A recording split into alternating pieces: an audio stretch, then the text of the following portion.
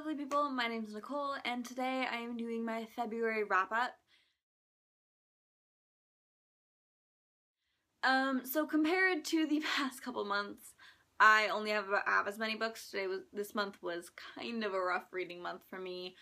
I'm going to blame Richelle Mead because I've been in kind of a bit of a book hangover for the past couple weeks and it's all the Ruby Circle's fault. So I have a total of nine books for you today, although one of those was a did not finish and one of those was an audiobook. So yeah. Um, so the first book I read was I finally finished The Prisoner of Azkaban by J.K. Rowling.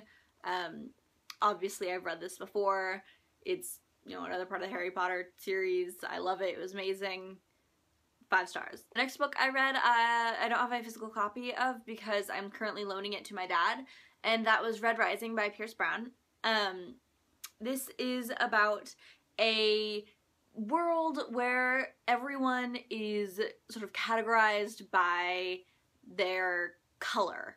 And there are a whole bunch of colors, but sort of the two extremes are the reds, which are the lowest of the low, they're basically slaves, and the golds, who are the wealthy rulers of everyone. And it's about a Red whose wife sort of wants him and sort of pushes him to join a rebellion to overhaul the color system and it's it's one of those books that has a really complicated setup um and it's about a kind of a rebellion thing but it's a sci-fi i really enjoyed it i thought the action was intense and amazing and so epic and I loved the characters. Uh, they all felt really just believable and there wasn't really any big problems I had with it. Um, and so I gave it five stars. Then I read We Should Hang Out Sometime by Josh Sundquist. This is a true story about a 25 year old man and um, he realizes that he's never actually had a real girlfriend so he goes back through all the girls he almost had a thing with and asks them why it didn't work out. And it's funny and it's cute. Um, it's told in sort of a uh, girl by girl format. There's background, then there's a hypothesis as to what happened and why it didn't work out, and then there's the actual conversation he had with the girl. And I honestly, I kind of wish that the actual conversation parts were longer just because it felt like it was more of a hey look at all these girls I almost had a thing with than a experiment which I thought was um sort of what it was what drew me in. Um although I did think the ending was really really cute. I enjoyed it. I didn't love it though so I gave it three stars. The next book I have is The Ruby Circle by Richelle Mead uh, I got this basically immediately after it came out because I've been waiting for it forever and I'm so glad that I finally have it. Um, I loved this. I'm not going to say what it's about because it's the last book in a series, um, but I will say that there wasn't really anything that I didn't love about it. It made me cry, it was beautiful, and I very much appreciate the epilogue. Thank you, Richelle Mead. I love you. And this is why I had so much trouble for the rest of the month. Of course, I gave it five stars. Uh, for all the other books in here, I, I was feeling sort of bleh reading wise, and so a lot of these books are ones that really were good. I just didn't feel like I really connected with them all that much. So what normally may have been rave reviews are just good this month. Um, there were still a couple five star things. There was just nothing I really sort of like really emotionally connected with. Darn you, Richelle Mead. um, so the next book is The Sky is Everywhere by Jandy Nelson. I picked this up because I knew I needed something to help bring me out of my uh, Ruby Circle slump. Didn't help as much as I thought it would. This is a book about a girl whose older sister just died and she is sort of recovering and mourning and figuring herself out and what she wants and she's also dealing with the fact that she's now feeling these weird emotions um, towards her sister's boyfriend because and they're both in grieving and they feel like they they're the only ones who they can really talk to about this because they're the ones who are feeling this. And it then she's also having emotions about this new guy in class. And so it's this really sweet um, story of grief and love and family, and I thought it was really, really good. It was beautifully written. Um, a lot of it read very much like poetry, and I gave it five stars. The next book, uh, not not so great. This is a did not finish for me, um, and that is Girl Online by Zoe Sugg. I did not like this book. Um, I got not very far into it. I got only like 50 pages into it, and then I put it down and just couldn't do it.